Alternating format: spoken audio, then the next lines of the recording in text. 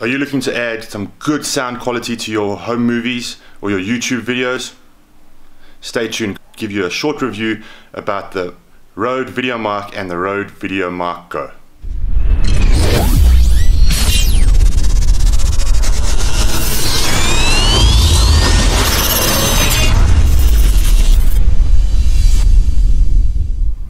What's up guys?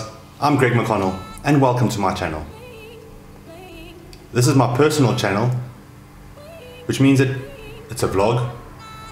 It's about paintball, it's about bodybuilding and fitness, and generally speaking, it's about me. Today's video is actually a little bit of a tech review. I upgraded my, my mounted microphone for my DSLR. I did have what could be considered one of the better microphones only problem being for me, it was a bit large. It takes up a lot of real estate on the camera itself. The microphone I'm talking about is the Rode VideoMic. This is my old one. Comes in a nice little box plastic packaging, I don't know what to call it. And then there's the microphone itself.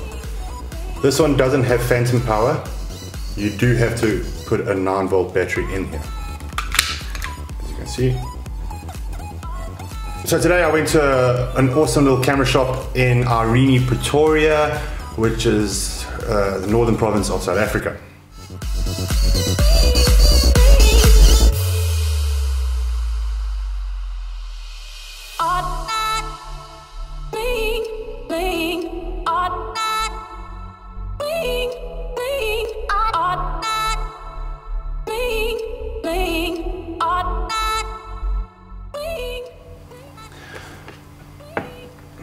I managed to pick up another Rode microphone, something I've been after for quite some time now. Ladies and gentlemen, the VideoMic Go by Rode. Let's unbox. Okay guys, once again, comes in a little vacuum, or not a vacuum, it's a plastic packaging. So we'll crack that open. Wow, that's the microphone. I mean, off the bat already,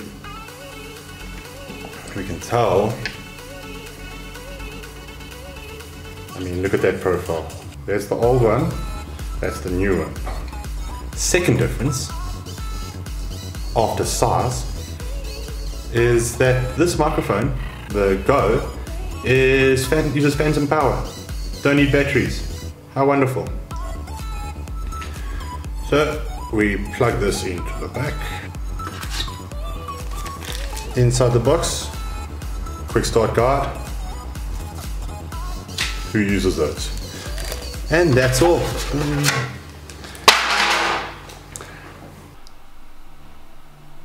That's the review guys. I hope you enjoyed it. It was a bit short, but it was basically just an unboxing. Alright guys, I'll see you at the next one.